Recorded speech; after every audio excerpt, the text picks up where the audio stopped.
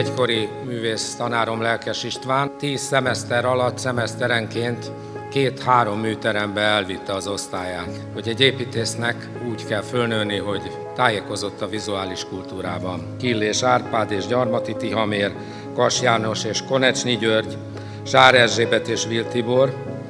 Tanár úr tehát figyelt arra, hogy a legszélesebb perspektívát biztosítsa téren, mint ahogy mi is most arra törekedtünk az egykor kiállításban, hogy azok a háttérbe szorított alkotók, akik a kiállítás sztárjai most a legkülönfélébb egyéni utakról adjanak hírt. A párhuzamos MNG kiállítás a keretek köz kurátorával, Petrányi Zsolttal szót váltva elgondolkodtunk arról, vajon időszerű-e a 60-as évek képzőművészetét most polémia témájává tenni. Lehet azt mondani, kell egy bizonyos időtávolság ahhoz, hogy helyes ítéletet alkossunk egy korszak alkotóiról, úgy nagyon fontos a, a személyes ismeret. Éppen ez a kettőség bizonyítja azt, hogy most van itt az aktuális pillanat, amikor erről érdemes kiállítást csinálni, mert megvan a kellő távolság és megvan a személyesség egyszerre. A most a falakon felvonulók, de szó eredeti értelmébe vett avantgard, az erős, veretes csapatát alkották egykor a maguk idejében. A művészet, mint igazságkereső forrás ült ceruzájuk, ecsetjük hegyén, vésőjük pengéjén, egykor, egykor.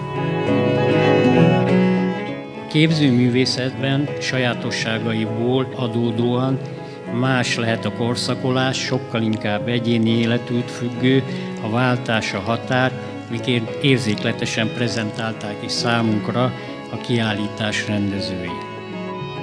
A rendszerváltás követően a Nemzeti Galériában, akkor és most is, a 60-as évek képzőművészetének azon vonulata került a falra, ami független volt az első, és valószínűleg még a második nyilvánosságtól is.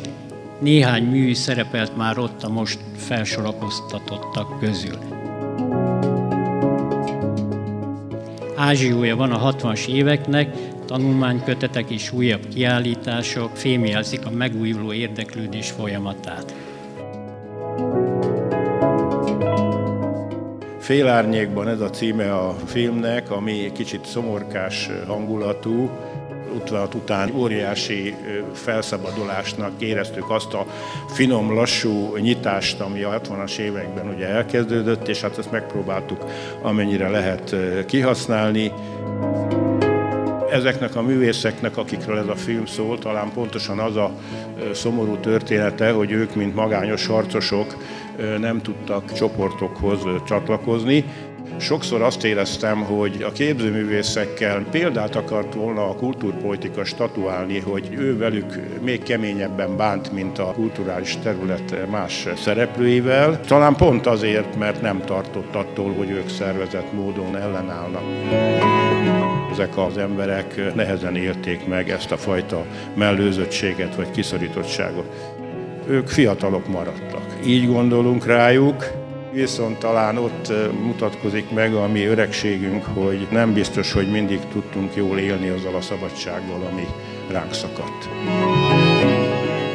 Én úgy érzem, hogy ennek a kiállításnak az egyik motivációjaként tarthatom számon az, hogy a 60-as, 70-es években nagyon sok fiatal ember úgy érezte, hogy egy ilyen szürke, hazug, beszűkült világban csak valahol az alagút végén valami fényt lát, és ez a művészet.